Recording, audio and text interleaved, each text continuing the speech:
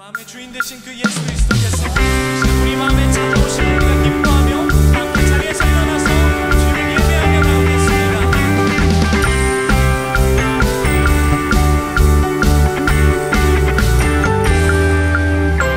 호산나 호산나 호산나